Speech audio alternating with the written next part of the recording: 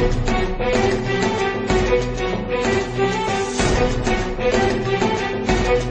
daha mükemmel değiştirmesi mutasyonu mümkün değil inşallah.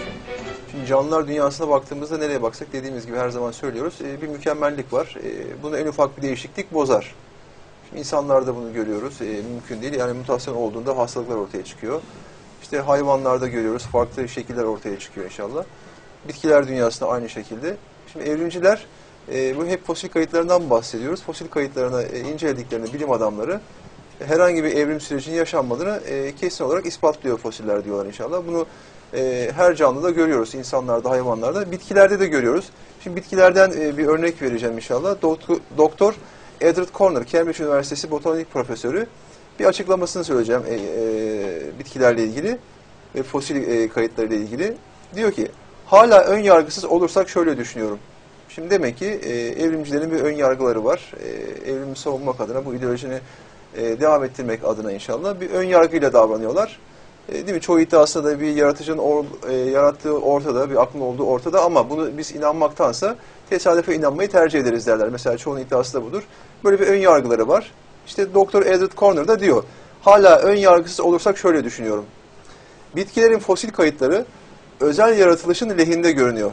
Şimdi fosil kayıtlarını inceliyoruz diyor. E, her şeyde olduğu gibi bitkilerde de inceledik diyorlar inşallah. Bu da e, yaratılışın lehinde gözüküyor bu kayıtlarda diyor. Bir orkidenin, bir su mercimeğinin ve bir palmiyenin aynı atadan gelmiş olmalarını aklınız alıyor mu? Şimdi üç tane farklı e, bitki söylüyor, örneği söylüyor. E, tamamen yapıları birbirinden farklı olan bitkiler inşallah. Bunların aynı atadan olduğunu aklınız alıyor mu diyor inşallah. Böyle bir soru soruyor. Üstelik bu tahmin için herhangi bir kanıtımız yokken.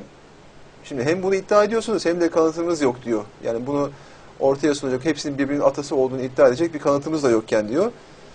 Evrimciler bir cevap vermek için hazırlanmalı. Ama bence çoğu tartışma başlamadan bitecek. Bakın yani evrimciler buna hazırlanmalı, kendileri hazırlasınlar diyor. Ee, herhangi bir fosil kaydı olmamasına rağmen bu e, üç bitkinin birbirinin atası birbirinden e, evrimleştiğini iddia etmek için bir hazırlık yapın diyor, bir cevap bulun diyor. Ama işte böyle bir hazırlık yapsanız dahi diyor, herhangi bir tartışmaya girdiğinizde bu tartışma başlamadan bitecektir diyor.